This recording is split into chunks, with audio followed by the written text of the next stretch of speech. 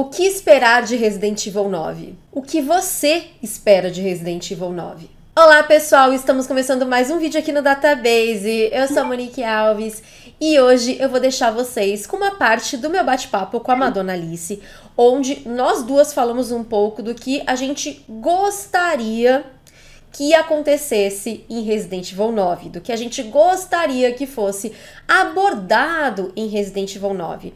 Eu já falei bastante sobre isso aqui no canal, mas eu gostei bastante que a gente fez um debate, uma espécie de debate mesmo com as nossas ideias a respeito de quem deveriam ser os protagonistas, sobre a volta da Umbrella no Resident Evil 7, que não foi abordado no Village, por exemplo quem serão as pessoas por trás aí de todas as coisas que andam acontecendo em Resident Evil, desde esse reboot que aconteceu na franquia com Resident Evil 7. E a gente também comentou um pouquinho a respeito do Chris. Qual deveria ser o destino, o desfecho de Chris Redfield na franquia Resident Evil? É claro que a gente adora o Chris, mas é aquilo, né? Será que um dia algum personagem grande da franquia vai ter um desfecho? Ele vai acabar, ele não vai mais aparecer? E como isso aconteceria? E é claro que a gente pensa no grande veterano que é o Chris, né? Então a gente discutiu bastante a respeito do futuro dele e da curiosidade de que Chris quase morreu no Resident Evil 6. Você sabia dessa? Pois é.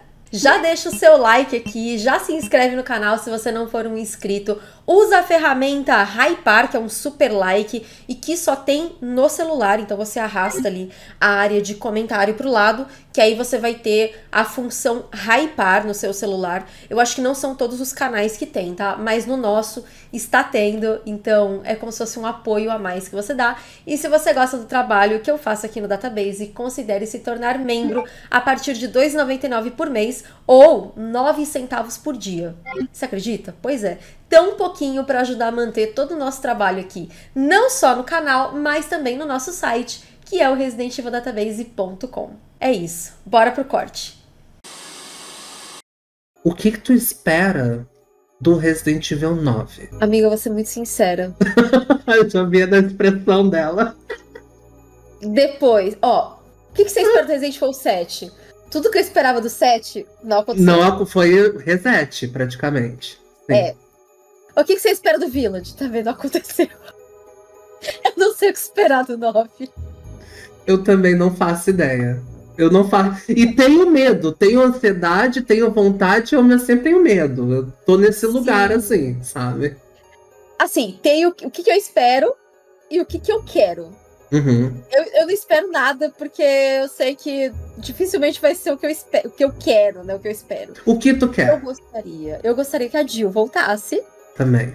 Já que ela voltou no, na animação, né, do Ilha da Morte, eu queria muito que ela voltasse como protagonista do, do 9. Sabe? É, ela é minha personagem favorita. Então eu queria muito que ela voltasse na franquia, num jogo mesmo, sabe? Não num filme. Queria ter mais espaço para ela ali. É, ainda mais que o Ilha da Morte, ele foi em 2015. A história dele se passa em 2015.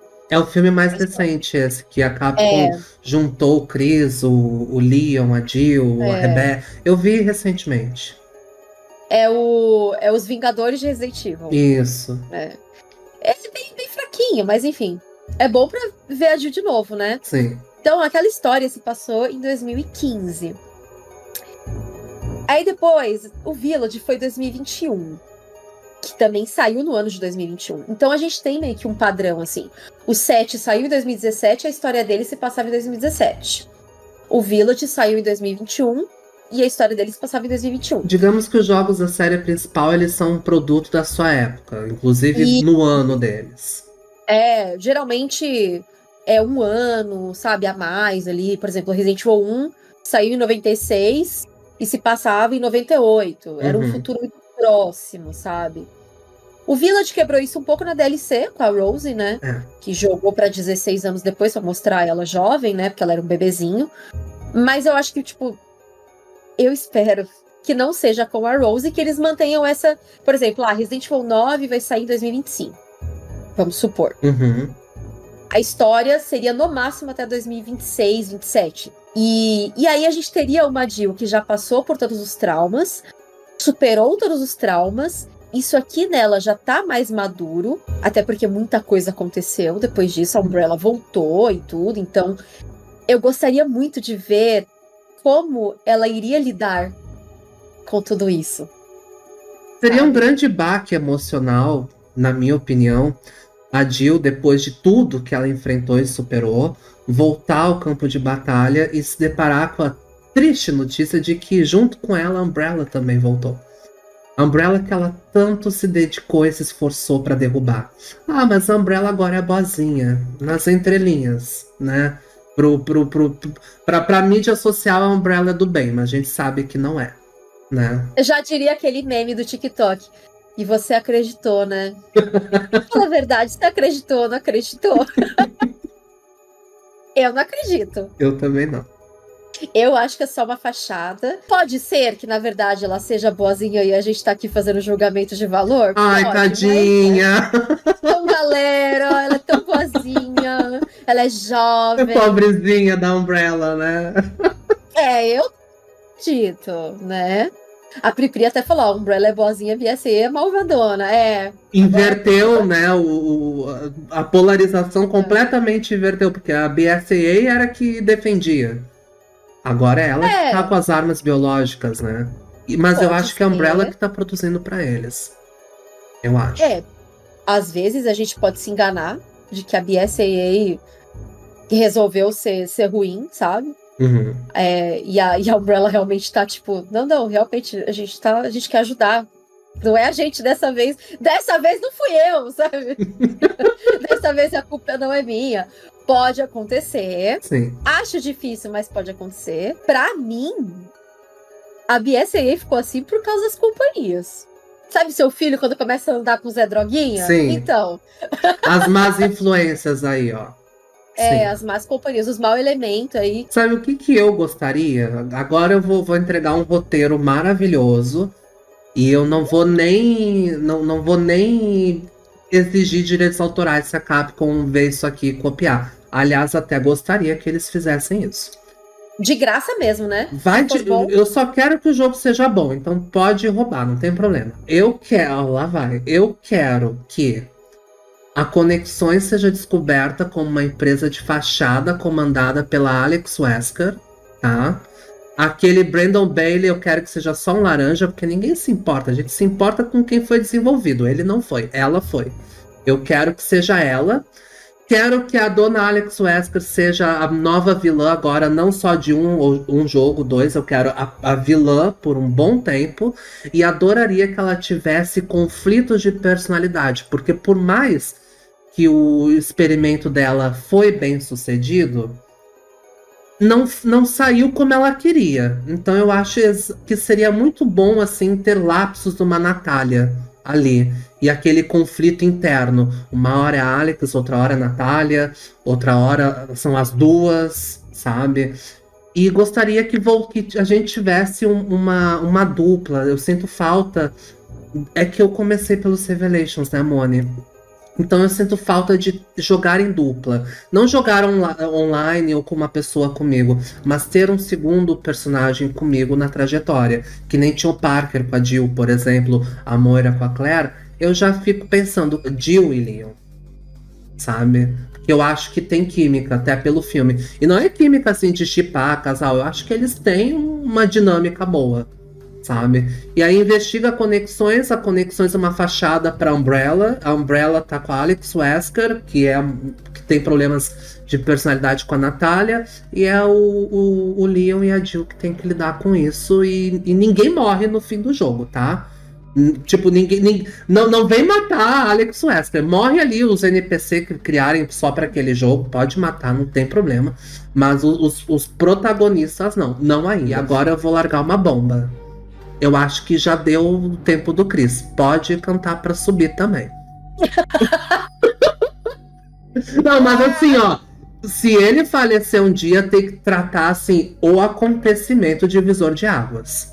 É. Mas eu, eu, eu, eu, é que eu acho admirável quando uma obra chega e mata alguém, sabe? Do jeito certo, não como fizeram com essa. O Chris, eu não sei se você sabe, mas o Chris ele quase morreu no 6. Eu joguei o 6, mas não consegui jogar todas as campanhas, então eu não, não, não lembro, assim. Mas a Capcom. Não, a Capcom queria matar o Chris no lugar do Pierce. Mas Tá. ela não teve coragem. Meu Deus. O Pierce, inclusive, seria o substituto, né? Porque ele foi bem desenvolvido naquele jogo. Mas foi ele que foi pra vala, no fim das contas. É, e, e o 6, é engraçado que o 6, logo no, no começo do marketing dele, ele foi vendido como a Sherry, que é a filha do William Birkin, Uhum. o Jake, filho do Wesker, o Pierce como um, novo Chris, né, que seria o substituto ali. E ainda mais que a- a- os japoneses têm muito essa coisa do veterano e o novato. O novato que vai superar seu mestre, sabe? Sei, sei. Né? Isso, exato. Então, o... eles foram vendidos na época como herdeiros da franquia. Só Faz muito talvez- sentido, né? na É, olhando assim. exato. Só que alguma coisa aconteceu e eles falaram: não. Não, vai, vai o Pierce mesmo. Vamos manter o Chris. Eu acho legal, gosto do, do fato do Chris estar vivo até hoje. Ainda mais que ele. Ele ia se aposentar no final do 6. Ele não consegue Ele fala- largar o osso, né? Ele falou: ó, terminando essa missão, a gente tá indo daqui. Você assume. Essa pica não é mais minha. Essa pica agora é tua, aspira. Não é mais minha, não. Eu cansei, eu quero férias, eu quero que tu vai todo mundo pra puta que pariu, todos esses personagens. Eu quero descansar.